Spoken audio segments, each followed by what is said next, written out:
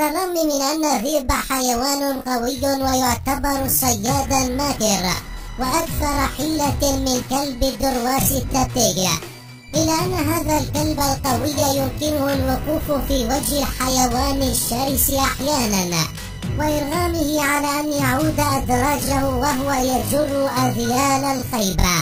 كما هو معروف من النادر أن تتراجع الذئاب وتترك فريستها.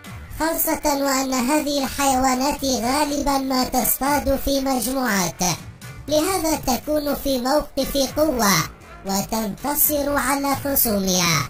وعلى الرغم من أن أغلب الكلاب تهرب عندما تشاهد ذئبا يقترب منها إلا أن كلب الدرواس التبتي الكبير والشرس لا يتردد أبدا في مواجهة الذئاب. بل ويستطيع أن ينشر الذعر بين قطيع الذئاب ويطردهم دفاعا عن ممتلكات صاحبه. تتدرب الذئاب وباقي الحيوانات المفترسة في البرية على مدار الساعة كي تتمكن من صيد الفرائس التي تتغذى عليها لأنها ستهلك حتما إذا لم تصطاد. عليهم الركض طوال اليوم والبحث عن الفرائس. وفي نفس الوقت حماية أنفسهم من الحيوانات الأخرى المفترسة التي قد تهاجمها في أي لحظة. كل هذا يكسب الحيوانات المفترسة قوة وشجاعة وخبرة أثناء الصيد. وفي المقابل يجب على الكلاب أن تخضع لتدريب جيد كي تواجه هذه الوحوش التي تستهدف في الغالب المواشي التي تحرسها. التغلب على الحيوانات المفترسة. ليس بالأمر الهين بل يتطلب من الكلب التدرب منذ سن مبكرة واكتساب القوة والخفة والشراسة الكافية. للوقوف الند للند أمام هذه الحيوانات القوية الآكلة للحوم. فهذه الأخيرة تخوض العديد من المعارك يوميا سواء ضد فرائسها أثناء عملية الصيد. أو ضد بعضها البعض من أجل بسط السيطرة لهذا تكون دائما في لياقة جيدة ومستعدة للقتال. رغم كل هذا وقفت الكلاب في وجه هذه الوحوش ولطالما دافعت عن الإنسان منها.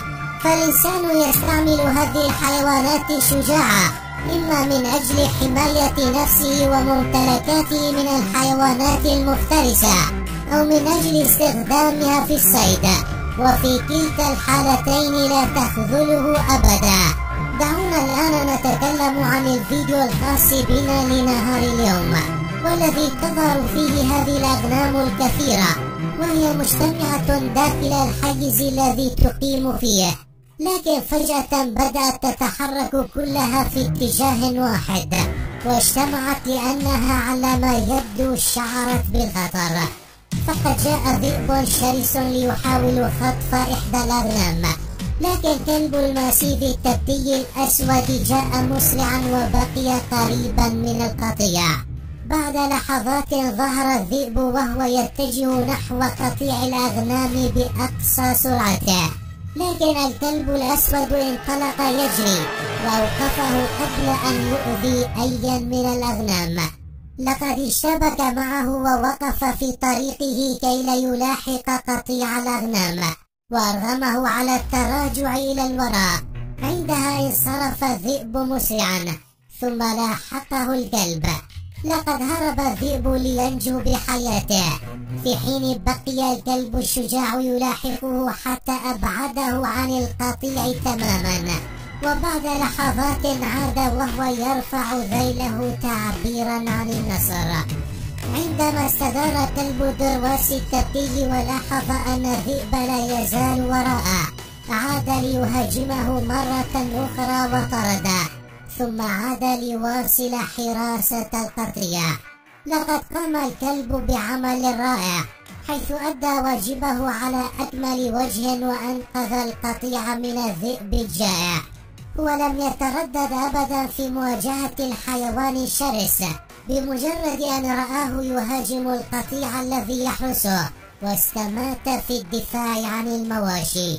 من الجيد أن يكون لديك كلب كهذا في منزلك أو في مزرعتك لأن كل شيء سيكون في مأمن. هو فقط بحاجة إلى التربية والرعاية وبعدها سيرد لك الجميل. وسيجعلك تفتخر به وفي مشهد آخر شن هذان الكلبان من فصيلة درواس التبتيج هجوما خاطفا على فهد الثلج كان يأكل فريسته ورغمه على التخلي عنها والهرب. الفهد حاول العودة ليكمل وجبته لكن كلاب أخرى جاءت لدعم كلب الدرواس. وأحاطوا بهم جميعا. عندها وجد الحيوان المفترس نفسه في وضع لا يحسد عليه. لقد اضطر إلى المغادرة في نهاية المطاف وتخلى عن فريسته.